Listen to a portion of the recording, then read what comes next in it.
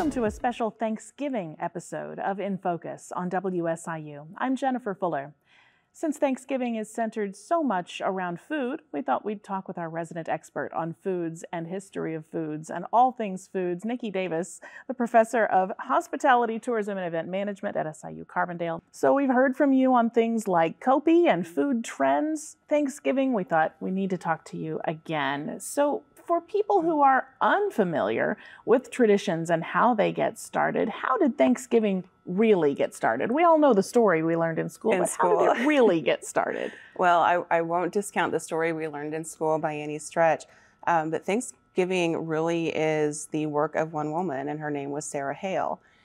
And she published a novel in the late 1820s called Northwood. And in that novel, she spends an entire chapter describing an English dinner that included the roasted turkey and all of the trimmings. And around the same time, she was moving to petition to have Thanksgiving a national holiday here in the United States. And that was an effort to unite a nation that was very quickly separating itself. But it took a very long time for all of it to happen. And in fact, it was Abraham Lincoln who kind of signed it into uh, proclamation. But it wasn't until 1942 that we decided that Thanksgiving would be on the fourth Thursday of November. So it took a, a, quite a long time for it to happen. I imagine that, you know, when we think back to that first Thanksgiving, that image we all have in our minds that mm-hmm. we learned, and people talk about the fact that there was turkey at the table, more than likely it was whatever they could find, right? More than likely it, it, probably was not turkey. We there is no written indication anywhere that there was actually turkey served at that first Thanksgiving. And and in fact that first Thanksgiving really wasn't a Thanksgiving like you and I would think of one, like what we grew up with. And more than likely, it was a harvest feast, um, which happened all over Europe at the end of, of harvest as Thanksgiving for the harvest. And that's where that uh, comes from. Now, what we do know is that there were wild game uh, served. So, venison would have been that, probably rabbit, maybe squirrel. Um, we also know that there was wild fowl and possibly a turkey in that, um, but more so duck, goose, maybe uh, pigeon how do things uh, evolve? You mm-hmm. mentioned that you know it took nearly hundred years for Thanksgiving to be moved permanently to the fourth Thursday mm-hmm. in November, but how do these things change from we're having a harvest feast mm-hmm. to this meal must include turkey and mashed potatoes and gravy and, and all of the things that go with that traditionally. Sure. Uh, food historians pretty much credit Sarah, Sarah Hale's first novel uh, as that because of the chapter on the, the English feast. Um, but A Christmas Carol also had a little bit of, of a turkey feast in it as well. And I think that's where we get um, maybe that Norman Rockwell ish uh, type of image in our minds. And We've talked about marketing. Magazines showed that, you know, that advertisement, that image in magazines and newspapers, and, and that's what we just consider to be a traditional uh, Thanksgiving meal. Is it for everybody? Not necessarily. Let's get to that because you know people pride themselves on the fact that the United States is a melting pot of mm-hmm. cultures. Mm-hmm. Sure. And so there are a lot of people who include a lot of other things on their mm-hmm. Thanksgiving table. What are some of the more common things that maybe aren't a part of that Norman Rockwell picture? Well, Common and Norman Rockwell might not go together. but I think when we look across the country as a whole and look at regional cuisine, the things that show up in the various regions of the, the USA show up on our holiday tables, whether it's Thanksgiving, Christmas, whatever.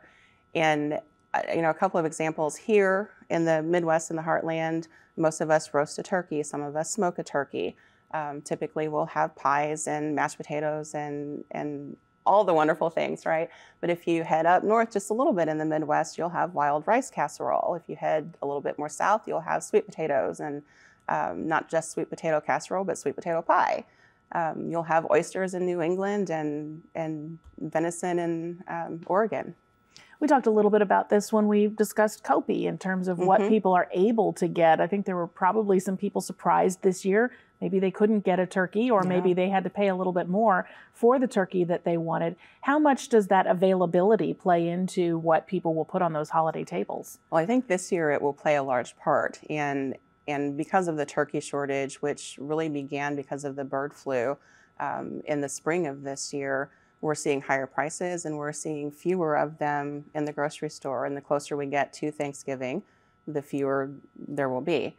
Um, if you have to have a turkey, you'll have a turkey, um, and it might cost you a little bit more. But if it's something that you can maybe make a change, then there are a lot of other proteins that you can put on the table. Other wild fowl, um, duck and goose for sure. Um, venison is another opportunity. A lot of people will talk about cultural differences when it comes to just one dish that's on that table, mm-hmm. and that comes to the stuffing. What kind of stuffing right. do you have? How do you cook it? How do you present it? How do all of those things evolve and, and what are some of your favorites? Well the first question is it stuffing or dressing for you? Uh, it's both for me depending on how it's being prepared. In, in my family we grew up with oyster stuffing or oyster dressing and, and that was largely because of my grandfather having fell, fallen in love with oysters during world war ii and that came back with him um, so that's what my mom fixed. That is not common here in the Midwest. That's more common in areas where oysters are readily available. Um, that changes based upon the ingredients. In California, sourdough bread is what we make our stuffing out of. Um, oysters certainly is one of those kind of all across when we're on the coast. So I think depending on where you're located, what you put in that stuffing is very much what you have seasonally available for you at least traditionally. How important are those traditions and those really specific dishes when you think about the the cultural norms? Mm-hmm. You know, are, are people really going to feel lost if they're not able to be a part of a meal that has these uh, these ingredients? I think that will depend entirely on the person and and what they're willing to maybe shift and and do with or without.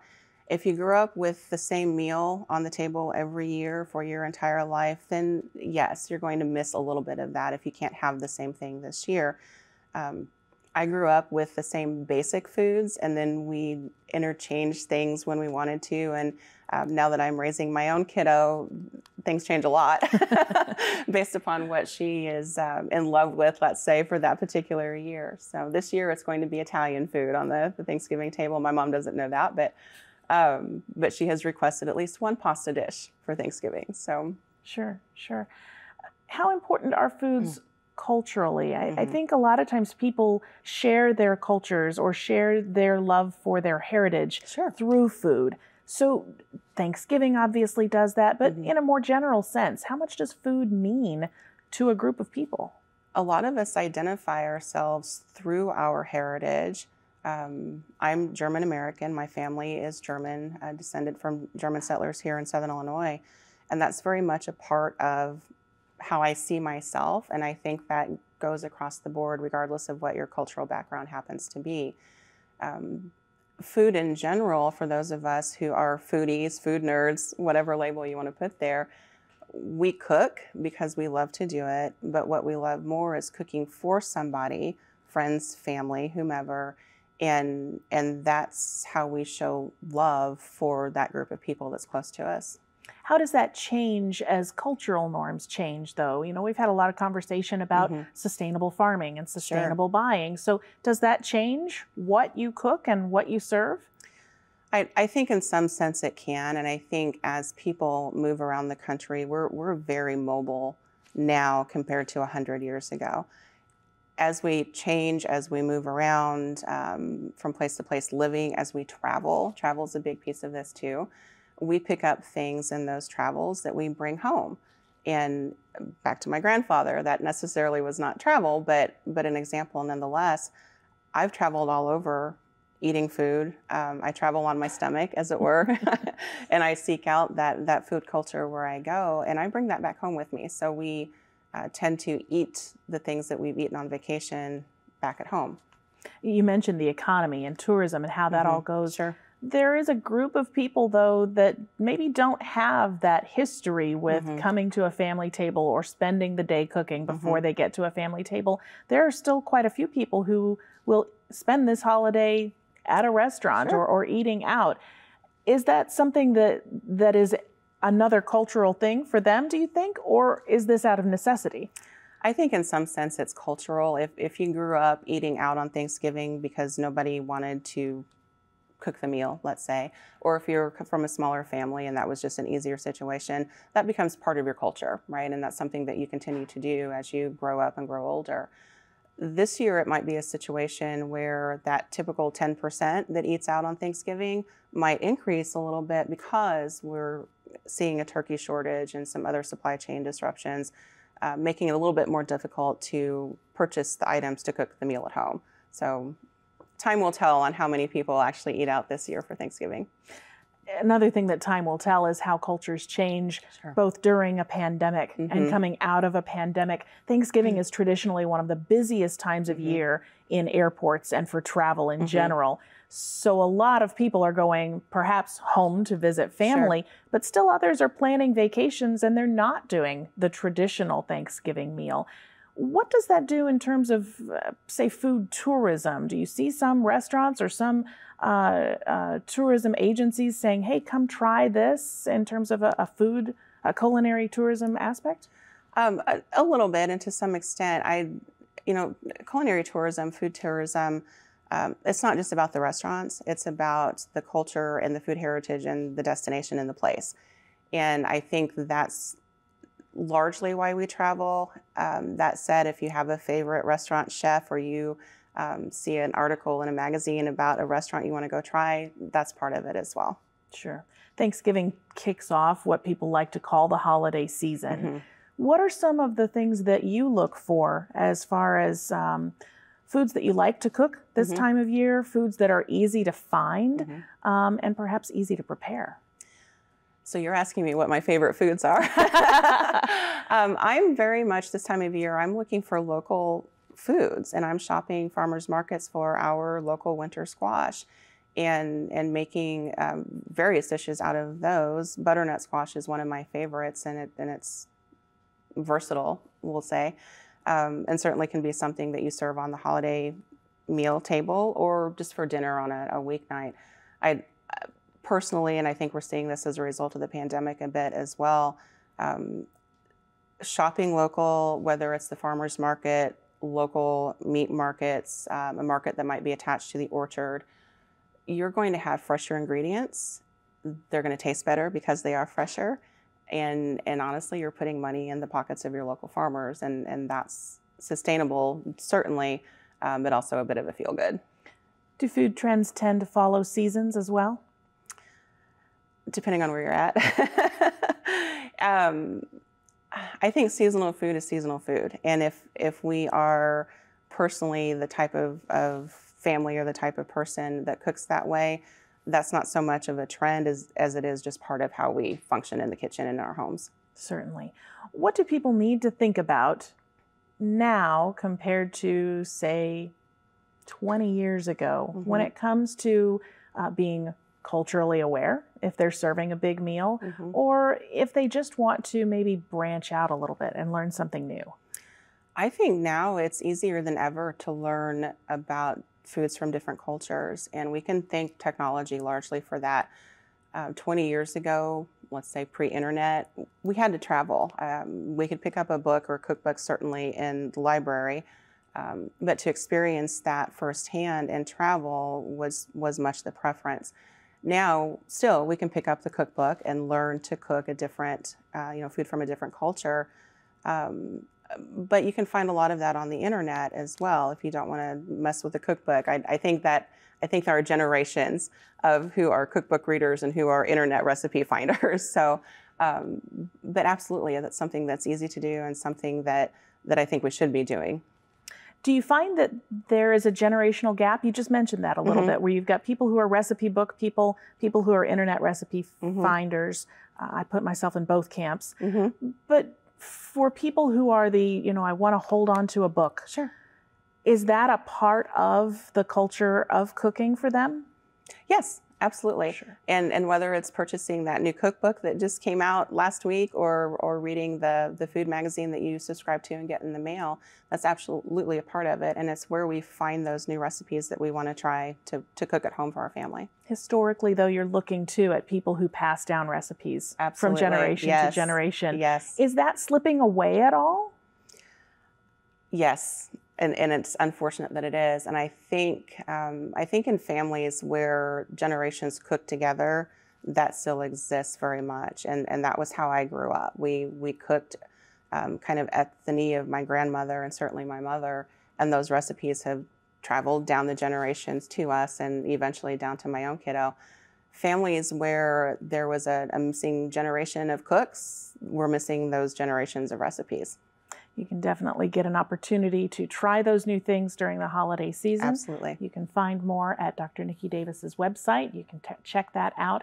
Uh, we've got it here on the screen for you here on In Focus. Nikki, thanks so much for your time and happy Thanksgiving. Happy Thanksgiving. Thank you.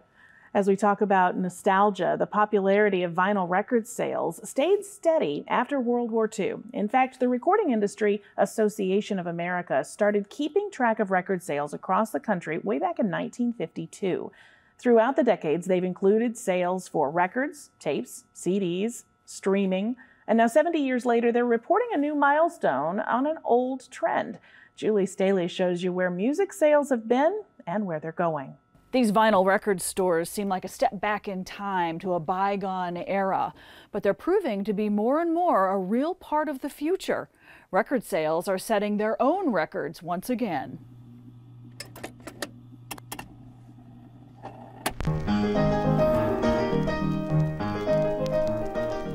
After Thomas Edison introduced his cylinder phonograph in 1877, Emil Berliner perfected the shellac disc on his gramophone, and recorded music spun into commercial success. By 1900, approximately 3 million discs were sold. Known as records, sales by 1910 flew to nearly 30 million.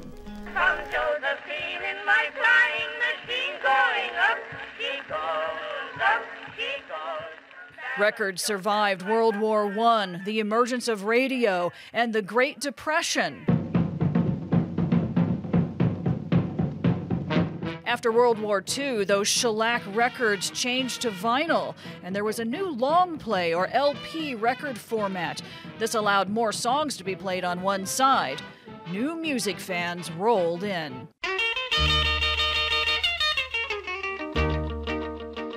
It led to a new genre of music, much to the dismay of parents of screaming teenagers everywhere. After a young man stepped in front of the camera on The Ed Sullivan Show in 1956, vinyl sales in America soared.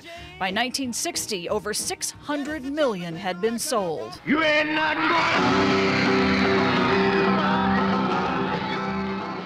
Rock and roll change changed the industry. Uh, you had all those huge, immensely popular bands that came out. Uh, you know, going back from you know Elvis, Chuck Berry, Little Richard, Buddy Holly, uh, and then stretching into the '60s when you got like you know the Byrds, the Buckinghams, of course the Beatles.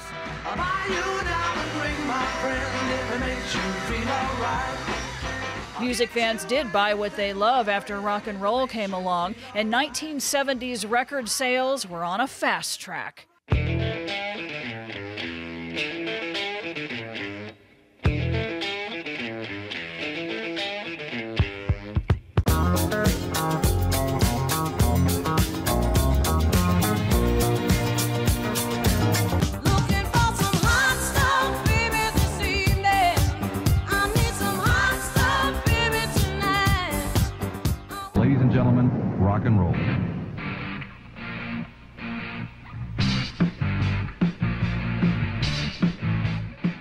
When MTV revolutionized the industry, artists were given the spotlight just like they had on The Ed Sullivan Show 25 years earlier.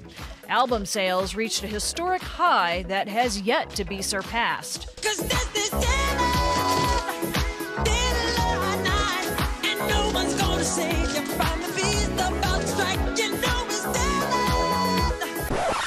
But with a new trend in portable tunes with the Sony Walkman and CDs, music sales began to shift. Vinyl records were left lifeless. Records went out of style. Um, they kept printing them, they kept pressing them, but they, they did go out of style. It's so much easier to pick up a CD, it's so much easier to pop that in. You don't have to care for it as much. By 1989, vinyl was no longer in mass production, but record store owners knew old songs had new value.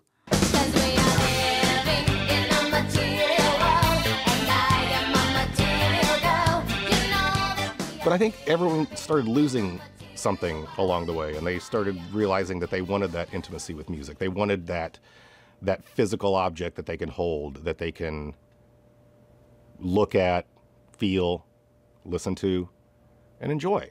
You can see that needle hitting the groove and just watch it follow. It's a completely different experience. If you're going to be collecting music and if you're going to be going after a physical format, then why not vinyl, really? It's like it makes the most sense um, as something you can hold and put on the wall. You know, it's got the largest. It's almost like a poster in some ways too. It's I think it's the best display of album art myself. Now, vinyl sales are setting a new record. In 2021, records outpaced CD and digital album sales, reaching the $1 billion mark for the first time in 35 years.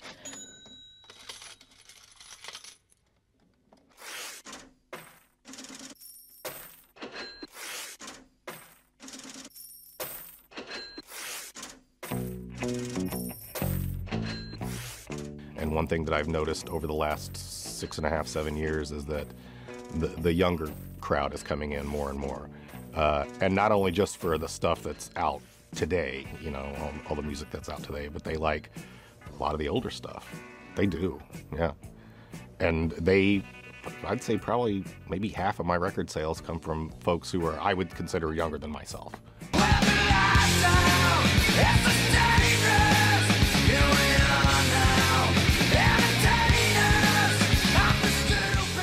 A lot of that stuff, they're just kind of making their way down the uh, certain bands' discographies and stuff. You know, if they had an album that came out at some point in the 90s, you know, it could have not been pressed on vinyl at all. So it's like now out on vinyl for the first time. You're so golden. Today's artists are cashing in on this vinyl revival as another way to reach die-hard fans. But the turnaround for vinyl pressing can be up to a year. So, with low supply and a longer wait, record prices are going up.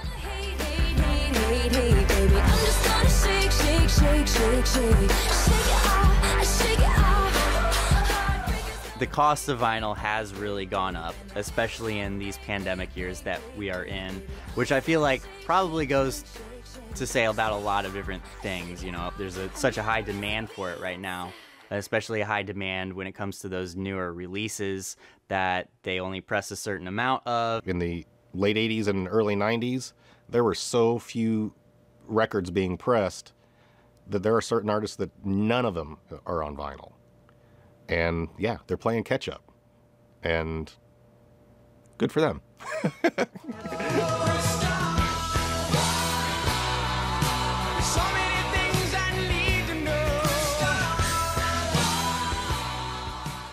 Record store owners know that history shows music trends come and go quickly, but what do they say about what's ahead for vinyl? There's always going to be fans of music, and there's always going to be the need for people to collect things and, and hold them, you know? So I, I don't think that, yeah, maybe if anything, we'll see vinyl sales reach a, a point where it stays the same, I guess. But, and I guess things are always going to be changing too. Um, but I don't see it going away anytime soon at all.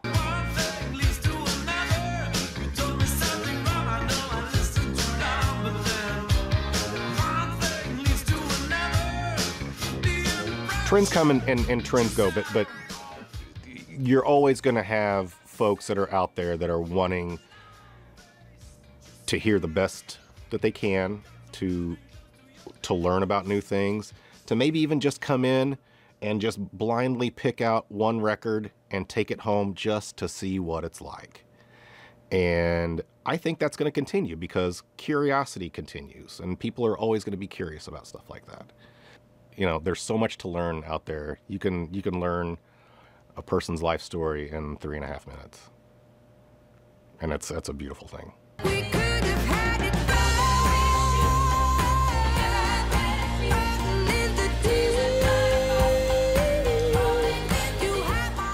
Backlogs and delays in production aren't expected to end anytime soon, so these records will keep their value even longer. For In Focus, I'm Julie Staley.